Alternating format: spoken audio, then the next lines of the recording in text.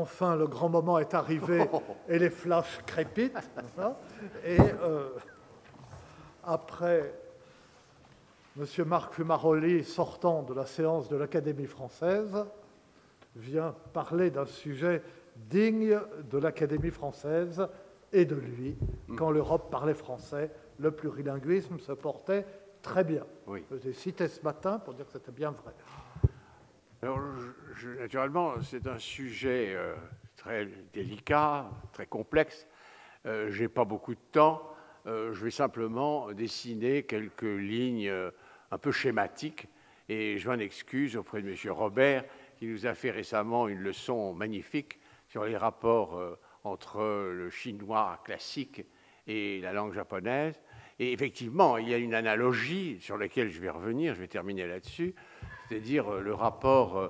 euh, à la fois de, fascination et d'hostilité, ou en tout cas de, rivalité entre le français à la fin du XVIe siècle, chez Montaigne par exemple, et puis le latin.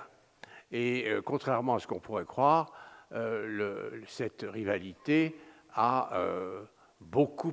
influencé euh, l'évolution euh, de la langue et de la définition même de cette langue, non pas tellement par esprit d'imitation du latin, qui pourtant était une langue fascinante et, dont la longue durée euh, convainquait, si vous voulez, les contemporains, surtout lorsqu'il s'agit de célébrer les rois, les grands princes qui veulent avoir une gloire durable, mais en même temps, pour se définir par rapport au latin, le français a fait, euh, je crois, euh, au XVIe siècle, des efforts considérables, exactement parallèles d'ailleurs à ce que la peinture française a fait pour se définir par rapport à la statuaire antique ou aux bas-reliefs antiques, afin de définir euh, un ton, un style, une allure, un monde de forme qui soit proprement français. Alors pour en revenir maintenant au titre de cette petite conférence, euh, il est bien certain que euh, au XVIIe siècle, euh, nous avons assisté à la création de l'Académie française en 1635, nous avons assisté à la bataille entre les jansénistes et les jésuites qui ont joué un rôle beaucoup plus important que la création de l'Académie française, qui était un geste symbolique, mais qui n'a pas eu d'effet, au moins sur le moment. En revanche, la rivalité entre le Port-Royal et euh, la Compagnie de Jésus, en particulier son collège, euh, son collège de Clermont, qui était le plus, le plus, célèbre collège de la Compagnie, à part le collège romain, euh, a évidemment joué un très grand rôle parce que les jésuites se sont obstinés comme compagnie euh, internationale, supranationale, mondiale même, puisque leurs missionnaires étaient partout, même au Japon, euh, ils ont maintenu le principe d'un enseignement en latin, et euh, alors que Port-Royal, qui héritait non seulement de l'Augustinus, mais aussi de la tradition gallicane, a créé des petites écoles où l'enseignement était entièrement fait en latin, en français, même si on apprenait le grec et le latin, bien sûr. Et il se trouve que cette euh, rivalité profonde, qui est une rivalité d'ordre théologique, qui est d'ordre moral et peut-être même d'ordre politique, les jésuites étant euh, les représentants d'un catholicisme euh, fédéral, si j'ose dire, alors que les, jansénistes représentaient un, catholicisme extrêmement local, extrêmement enfoncé dans la tradition gallicane purement française et parisienne même. Eh bien là, il, y a eu dans cette bataille, euh, Pascal est intervenu, il a écrit ces petites euh, lettres, ces fameuses lettres provinciales, qui ont été une révélation parce que il écrivait dans euh, un style euh, élégant, euh, spirituel, le style des honnêtes gens, le style de la cour même, et dans ce style-là, il traitait avec clarté, avec simplicité, avec une sorte de, sur le ton presque de la conversation, de grandes disputes théologiques avec les jésuites. Et il est bien évident que ça a donné à Port-Royal une dimension de, comment dirais-je, d'autorité que même ses thèses théologiques ne lui auraient jamais valu, le fait d'avoir formé, ou en tout cas encouragé quelqu'un comme Pascal à écrire ces lettres qui sont demeurées les classiques de la langue jusqu'à la fin du XVIIIe siècle. Hein. C'est vraiment la pierre angulaire du euh, français classique, du français euh, parfait, celui euh, qui a fait le succès de la langue et qui a été à l'origine, en fin de compte, son adoption dans la conversation de toute l'Europe. Et en réaction à cela, la compagnie a compris qu'elle devait, en quelque sorte, se réformer et ça n'a pas manqué, dans la génération suivante, on a vu apparaître un grand prédicateur qui a été euh, le rival de Bossuet, en fin de compte, le père Bourdaloue, et d'autre part, on a vu euh, apparaître un écrivain en langue française d'un ton évidemment très différent de celui de Pascal, mais au moins aussi élégant, aussi spirituel, aussi euh, raffiné, si j'ose dire, qui est le euh, le père Dominique Bourg, qui en 1671 publie ce magnifique livre dont je vous recommande la lecture parce que c'est d'un enchantement encore aujourd'hui, euh, qui s'appelle Les entretiens euh, d'Ariste et de Gênes. Et dans ces entretiens, il y a un magnifique page sur la langue française, enfin plus exactement un chapitre du dialogue sur la langue française. Et là, évidemment, le, le en profite D'abord pour définir euh, ce qu'est cette langue, euh, cette langue aristocratique, cette langue élégante, cette langue exigeante et dont la clarté est la qualité suprême. Et il, va jusqu'à euh, dire que le locuteur de cette langue, par excellence, celui sur les lèvres duquel il faut aller chercher en quelque sorte le ton de la langue,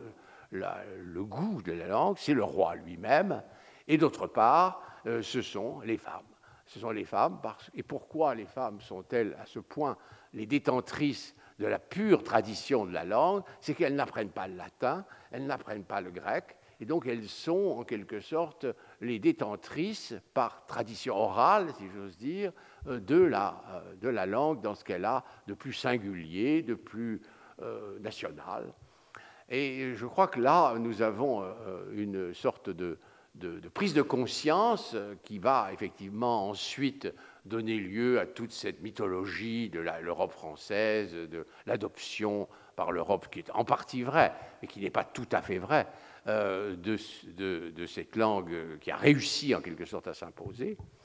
Mais euh, ce qui est très intéressant aussi dans le chapitre de, la langue française de Bourg, qui liquide en quelque sorte une situation qui, avait qui durait depuis, depuis euh, les origines de la Renaissance, euh, il lance une attaque extrêmement vive contre l'italien, en disant que l'italien est une langue de, en quelque sorte de l'amplification, qui est incapable de rester au niveau du bon sens, et une, encore plus cruelle attaque contre l'espagnol, qui considère comme euh, insolent, euh, patamoresque, et euh, là aussi péchant par excès, alors que le français, c'est la langue du juste milieu entre la raison,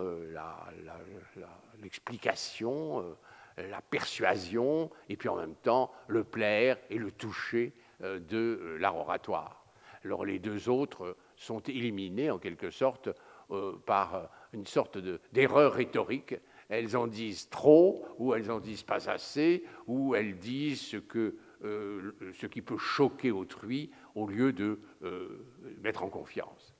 Alors, chacune de ces pages va susciter évidemment des réactions très vives, et les premiers qui vont réagir sont les Italiens, qui vont déclencher une longue querelle qui va avoir ses conséquences d'ailleurs au XVIIIe siècle, euh, pour euh, euh, se défendre contre cette condamnation. Et on ne peut pas mesurer aujourd'hui à quel point tout ce qui était publié à Paris était accueilli en Europe avec une sorte de, fascination. Et le, texte de, Bourg a été immédiatement non seulement lu en français, mais traduit dans plusieurs langues. Et son livre a acquis une autorité inquiétante, que les Italiens ont essayé de déboulonner, mais sans trop de succès, comme nous allons voir. Alors, comment se, se présenter la situation dans une période antérieure, si j'ose dire, la période justement où le cardinal a jugé bon, le cardinal de Richelieu a jugé bon pour euh, donner un signe symbolique très fort à l'Europe de sa volonté et de la volonté de l'État royal de porter sa langue au premier rang des langues européennes, euh, eh bien, il était évident qu'à cette époque, euh, en France, et en particulier à Paris, dans les milieux cultivés, on ne parlait pas qu'une seule langue, naturellement, on parlait pas on parlait le français, bien sûr, mais on ne parlait pas que le français, on parlait aussi et on lisait l'italien, et on lisait et on parlait l'espagnol. Et naturellement, les plus savants, en général des hommes, mais enfin, il y avait aussi des mademoiselles de Gournay qui étaient au moins aussi savantes que, que, que ses pères. Euh, en général, c'était des hommes, c'était des érudits, c'était des, euh, savants, c'était des, des, juristes. Euh, évidemment, eux possédaient le latin. Donc on peut dire que sous Louis XIII, et même au début du règne de Louis XIV, on ne pouvait pas parler de haute culture, si j'ose dire, ou même de culture tout court, euh, sans euh, la possession euh, assez approfondie de quatre langues, le français, l'italien, l'espagnol et le latin. Alors Madame de Rambouillet, par exemple, qui a joué un rôle, comme vous le savez, très important dans l'éclosion d'une société élégante en marge de la cour, eh bien Madame Rambouillet était d'origine italienne, donc elle parlait, lisait l'italien comme comme euh, n'importe quelle romaine, et euh, d'autre part, elle savait très bien l'espagnol, et euh, effectivement, la France était en guerre avec l'Espagne à partir de 1635. D'ailleurs, c'est très intéressant, 1635, on oublie toujours que la date de la création de l'Académie française, c'est aussi la date où le cardinal de Richelieu entre dans la guerre de 30 ans et déclare la guerre aux Espagnols. Donc c'est vraiment un acte d'affirmation par rapport à la langue espagnole qui avait toutes les chances à la fin du XVIIe, à la fin du XVIe siècle, au début du XVIIIe siècle, d'être la langue européenne vernaculaire à côté du latin, langue savante. Euh, il est évident que euh, le nom de Cervantes, euh, le nom des, grands, des dramaturges espagnols était extrêmement prestigieux et l'autorité de l'Empire espagnol, qui était un empire mondial, était immense. Donc il y avait, de la part de Richelieu, une part de défi, de pari extraordinairement hardi que d'entrer en guerre contre l'Espagne et d'affirmer que le français avait l'avenir que l'espagnol semblait avoir. D'autre part, pour l'italien, euh, alors je ferai remarquer aussi que les presses parisiennes publiaient des livres en espagnol. Euh, que beaucoup de livres publiés en français, par exemple L'honnête homme euh, de Nicolas Faret, qui est un peu une définition du courtisan tel que l'entend Richelieu, tel qu'il souhaite que ce type d'homme se, multiplie pour être à la fois représentant des élégances françaises et en même temps pour être parfaitement docile au roi, fidèle au roi et faisant carrière à la cour et non pas sur les champs de bataille euh, de, guerre civile. Eh bien, ce livre a été publié euh, d'une part en français, bien sûr, c'est l'édition originale, mais ensuite il y a eu tout de suite une édition bilingue avec euh, la traduction espagnole en face par un des, membres de l'entourage d'Anne d'Autriche, Ambrosio de Salazar. C'est la même chose pour l'italien. L'italien avait plusieurs libraires parisiens publier des livres en italien, et pas, des livres secondaires, des livres clés de la littérature italienne du, XVIIe siècle. Par exemple, euh, le grand poème italien du XVIIe siècle, celui qui est passé aux yeux du public italien pour euh, l'héritier, ou le successeur en tout cas, de l'Orlando Furioso euh, du, de, l'Arioste, et naturellement de, la Jérusalem délivrée du Tas, c'est-à-dire le la donnée de Marino a été publiée superbement d'ailleurs, avec une dédicace à Marine Médicis sur les presses royales, avec euh, la, subvention de Louis XIII euh, en 1623, un an avant que Marino aille euh, en Italie se glorifier d'avoir publié enfin son immense épopée, et puis de l'avoir publié à Paris, avec en quelque sorte l'imprimatur de la censure de la censure française, ce qui va lui coûter très cher d'ailleurs parce qu'il va mourir vite et il a, senti avant de mourir que la, censure euh, vaticane, la censure papale, va condamner son, poème. D'autre part, un des grands écrivains italiens du début du XVIIe siècle, Alessandro Tassoni, publie euh, la première grande épopée héroïque-comique qui, euh, que Boileau va imiter dans le Lutrin, que le Alexander Pope va imiter dans The Rape of the Lock. eh bien, il le publie. L'édition originale est publiée à Paris euh, sous le titre La Secchia Rapita. Et d'autre part, euh, une tradition voulait, depuis le milieu du XVIe siècle, que euh, le roi de France, ou la reine de France, et là, au XVIe siècle, c'était naturellement Catherine de Médicis, fasse venir à Paris une troupe éminente de comédia dell'arte italiens. Alors, au XVIIe siècle, sous le règne de Louis XIII, c'était la troisième génération, euh, cette nouvelle troupe s'appelait la troupe des Fedeli. Elle était dirigée par euh, le petit-fils donc du fondateur, euh, Jean-Baptiste Andreini. Et ce Jean-Baptiste Andreini était non seulement un grand acteur, entouré d'acteurs aussi extrêmement brillants, mais il était aussi un grand dramaturge. Et ce qu'on ne sait pas, ce qui n'a jamais été étudié d'ailleurs, c'est que les pièces magnifiques de cet auteur, publiées en France, en, France, en italien, ont été évidemment les modèles qu'a suivi mon, euh, euh, Corneille pour inventer ces comédies qu'on ne s'explique pas comment il a pu les écrire parce qu'elles n'avaient pas de précédent en français. Euh, Mélite, La Place Royale, etc. Ce sont des comédies qui supposent qu'il a non seulement il a lu, mais il a étudié cette nouveauté remarquable qu'avait portée à la scène Andréini à Paris. Donc, des acteurs italiens qui sont en même temps des dramaturges qui publient leurs œuvres à Paris en italien et qui jouent en italien. Qui jouent en italien. Et alors la différence, euh, si vous voulez, de situation avec le début du, XVIIIe siècle, c'est que lorsque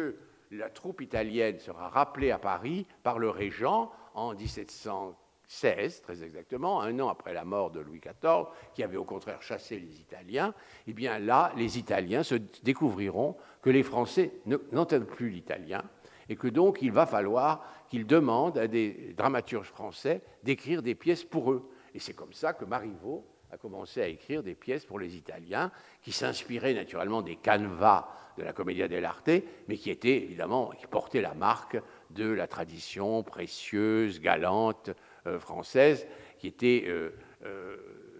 tout à fait différente de celle qui était représentée par le, la tradition des, comédiens italiens. Donc vous voyez deux,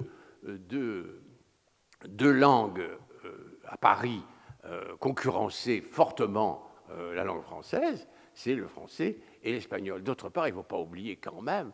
et ça c'est un symbole extraordinaire, que l'État qu'a recréé Richelieu et qui a emporté en fin de compte la partie contre l'Espagne, euh, l'État royal euh, qu'on appelle absolutiste de temps en temps, mais enfin, ce n'est pas un mot tellement exact. En tout cas, cet État puissant, cet État organisé, cet État qui dispose d'une administration bien entraînée, d'une armée euh, sur pied, eh bien, il a été sauvé par qui? Par, un Italien, Mazarin, et par une Espagnole, Anne d'Autriche. Et autour d'Anne d'Autriche, autour de Mazarin, il y avait effectivement un nombre d'Italiens considérable. Il y avait d'abord les Italiens qui venaient de Catherine de Médicis, par exemple le, fameux cardinal de Ray, qui, descendait d'une famille arrivée en France dans la suite de Catherine de Médicis, mais il y avait eu aussi la génération de Marie de Médicis, et puis il y a eu la génération de Mazarin. C'est-à-dire que le nombre d'Italiens de grande qualité euh, et euh, extrêmement cultivés, et d'autre part ayant une véritable autorité, à la fois dans l'Église et dans l'État, était euh, complètement disproportionnée à ce que nous trouverons ensuite euh, à, Paris euh, dans les dernières années du règne de Louis, XIV.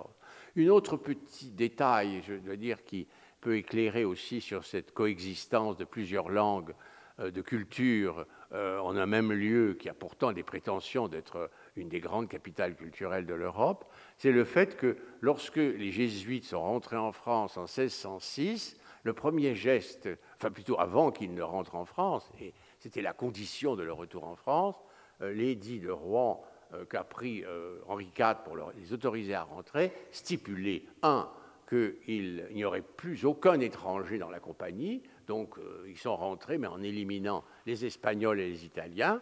et d'autre part, ils ont, il, fallait qu'ils mettent un d'entre eux comme otage auprès du roi, c'est-à-dire dans le rôle de, confesseur. Et, c'est vrai que c'était un geste d'Henri IV qui préfigurait en quelque sorte le, caractère de plus en plus, euh, euh, homogène, en quelque sorte, de la culture française euh, au cours du, règne de Louis XIV, où la condamnation de l'italien par, par Bourg et la condamnation de l'espagnol par Bourg annoncent effectivement une volonté de euh, de concentrer en quelque sorte la culture euh, élégante et laïque en français. Alors, quel rapport avec le latin? Alors là, il y a une, euh, je crois qu'il y a un, pan de cette histoire qui n'a jamais été vraiment étudié. C'est la, je, vais essayer de retrouver mes textes, mais c'est la continuité avec laquelle le, une partie du, public cultivé français s'est constitué en euh, euh, ennemi euh, de la norme latine et de l'exemplarité de, la, grande langue antique léguée par Rome. On parle toujours de la, c'est un peu une mythologie française, on, l'édit de Villers-Cotterêts, c'est très bien, l'administration française doit parler français, elle doit, doit parler français clair, c'est-à-dire qu'il n'y ait pas d'équivoque, pas de malentendu entre les, décrets ou les, arrêtés gouvernementaux ou les décisions de justice, et puis la réception par le public. Mais euh, puis on cite aussi toujours la défense de l'illustration de la langue française par Dubellay. Mais on oublie que cette euh, défense et illustration, elle a été immédiatement euh, il lui a été répondu par un texte qui est euh, remarquable, qui est magnifique, qui est un texte de Barthélemy le Quintil Horatian, où il accuse euh, euh, de vouloir, en quelque sorte, sur le lit procruste du latin, de coucher une langue française qui a quand même plusieurs siècles de littérature derrière elle, qui a des qualités exceptionnelles de subtilité, d'élégance et surtout cette notion qui est fondamentale, la naïveté. C'est-à-dire qu'en fait, le français tel que la tradition française l'a maintenu, en dépit des, prétentions de la Pléiade et de, du Bellay, euh, c'est une langue qui a un rapport direct avec la nature, qui ne prend pas le latin comme, ou les catégories latines, ou les cadres latins, comme intermédiaires dans le rapport avec les choses, avec les êtres. Ce qui fait que le français se retrouve dans l'esprit de Hanno dans la même situation que le latin. Le latin bien sûr, se servit du grec, mais quand il s'est retourné vers le grec, il avait déjà une littérature bien épanouie, et cette littérature, elle s'était constituée à partir de la nature, sans interposer entre la nature et l'écrivain, euh, dans le phénomène d'imitation, un cadre, une, sorte d'écran, en quelque sorte, qui serait la norme d'une langue antérieure et, euh, extraordinairement euh, imposante. Et cette contestation contre le, contre le pédantisme, en quelque sorte, de la Pléiade, cette apologie de la naïveté, on la retrouve dans tous les textes jusqu'au XVIIIe siècle. Et on le retrouve aussi dans les textes de la critique d'art. Il y a un grand débat au début du XVIIIe en France et qui est, très important parce qu'il explique Watteau, il explique le retour à l'antique, euh, c'est que, par exemple, quelqu'un comme Watteau, appuyé d'ailleurs par les, premiers académiciens euh, des inscriptions, qui sont tous très favorables à Watteau. On se dit, mais c'est pas possible, ils sont des anciens, Watteau, c'est un peintre ultramoderne, pourquoi s'intéresse-t-il tellement à Watteau? Pourquoi un abbé Fraguier, membre de l'Académie des inscriptions, écrit un tombeau de Watteau en latin au moment où Watteau meurt? Et tout simplement parce que euh, ils disent tous, les Boivins, les, les, les Fraguiers, mais Watteau considère la peinture exactement comme les latins et les grecs la considéraient. C'est-à-dire qu'il a un rapport direct avec les êtres qui sont ses contemporains, avec les paysages qui sont ses contemporains, avec les femmes qui sont ses contemporains, ce qui fait que ce qu'il fait est d'une extrême originalité. Il ne se réfère en rien au modèle latin, au modèle, euh, au modèle antique. Et donc, il trouve, en somme, dans la latinité même, ou dans l'antiquité même, euh, cette fraîcheur, en quelque sorte, euh, cette, ce rapport, ce rapport qui repose sur un, un, sentiment très vif du vivant et qui exclut cette espèce d'interposition des morts entre l'artiste et ses sujets. Et je trouve que dans, le, et dans les textes que malheureusement je pas le temps de vous lire, euh, aussi bien euh, chez Barthélemy Hanot que chez, euh, des, chez Bourg lui-même d'ailleurs, qui emploie le mot naïveté à plusieurs reprises, le mot naïveté est capital. Parce que ce qui est naïf, c'est le rapport spontané, direct, sans intermédiaire avec la nature. Ce qui fait qu'en en fait,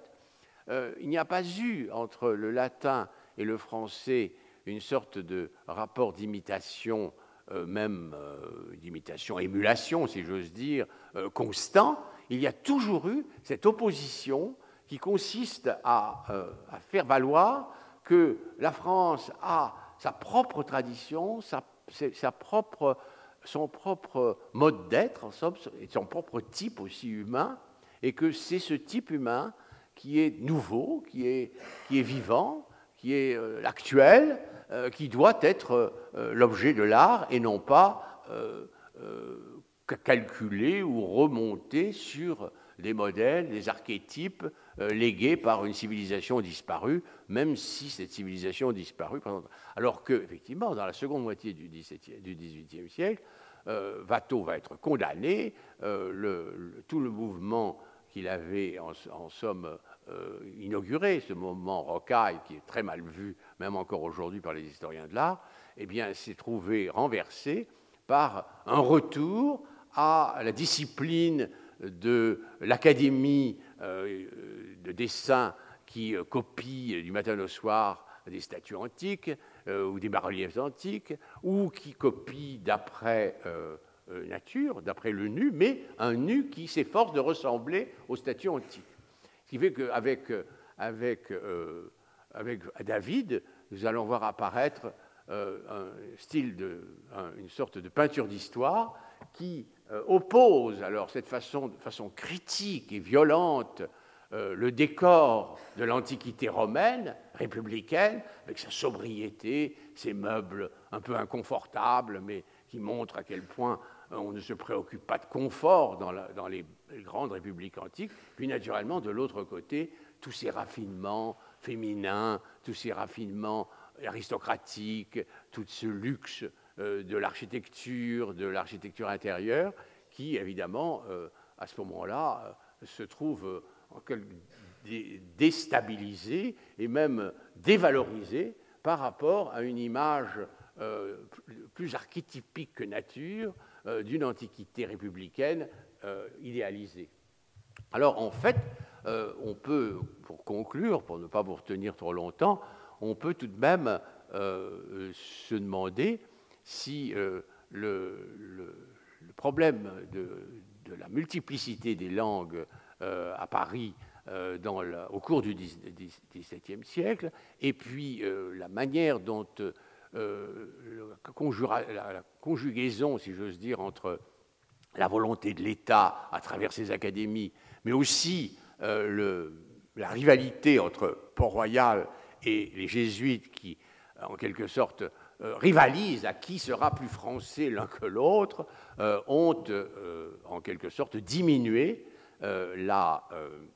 la, capacité de Paris d'être une capitale plurielle.